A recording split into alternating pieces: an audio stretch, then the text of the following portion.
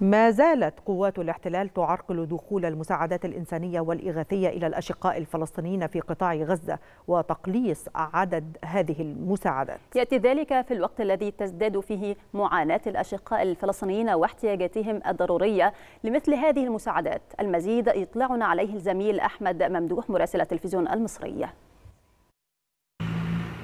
تحياتي لكم ولكل السادة المشاهدين من مدينة العريش. ننقل لكم الصورة الكاملة لموقف دخول المساعدات الإنسانية والإغاثية إلى الأشقاء الفلسطينيين في قطاع غزة حيث ما زالت قوات الاحتلال تعرقل دخول هذه المساعدات الإنسانية حيث تتكدس العشرات من الشاحنات يوما بعد يوم بمعبر رفح دون دخولها من جانب قوات الاحتلال في الوقت الذي تزداد فيه معاناة الأشقاء الفلسطينيين وحاجتهم الضرورية لمثل هذه المساعدات سواء كانت مساعدات غذائية أو مستلزمات طبية أو غيرها من المساعدات اللوجستية. اليوم تم دخول 97 شاحنة محملة بأطنان من المواد الغذائية بالإضافة إلى دخول سبع شاحنات للسولار وأربع شاحنات للغاز. بينما تم رفض أربع شاحنات للمستلزمات الطبية هم يمنعون دخول هذه المستلزمات الطبية إلى الأشقاء الفلسطينيين بهدف الضغط على الجانب الفلسطيني وزيادة معاناته والوصول بهم إلى المجاعة والتهجير القسري. أيضا